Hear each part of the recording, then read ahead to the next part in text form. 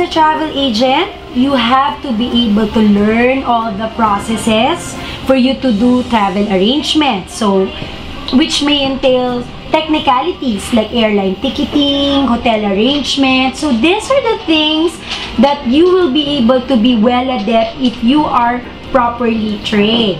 Plus, there are a lot of forms that we use as agents like booking requests, purchase orders that also requires uh, deep knowledge, okay, for you to be able to do efficiently and accurately, which means less errors in your bookings. Because at the end of the day, you want it to be efficient for your client. Another thing, as a travel agent, you should be able to know resources and suppliers to get the best deal for your client because uh, a lot of travel agencies do not really book or get travel deals online. Why?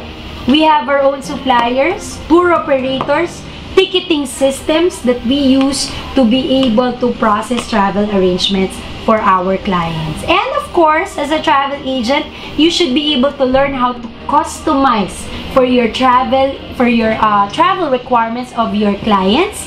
It depends if they want airline ticketing or hotel or tour packages. You should be able to get what they need by customizing it for them.